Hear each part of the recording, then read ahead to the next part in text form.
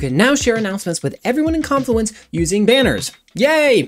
Product org admins will soon be able to add banners across the top of Confluence to communicate really important information to everybody, like major system changes, planned outages, those sorts of things. To do this, admins can select the settings gear icon in the upper right hand corner and select announcement banner. Here they can write the message and also select the color of the banner. Obviously go green if it's spring, maybe a goldenrod yellow in the fall. But seriously, maybe only use red if it's an emergency, please. They can also select whether or not users can dismiss the message and be nice here. I know your announcement is important, but so is people's screen real estate, so in most cases, make that banner dismissible, please. And finally, they can pick whether it should be visibly public, meaning anyone in Confluence, including guests, anonymous, and Jira Service Management users. That's a very big audience, so be careful. Or private, meaning only licensed users in your organization will see it. Announcement banners are only available for Cloud Premium and Enterprise subscribers, but this might be just the thing your team was looking for to make that jump.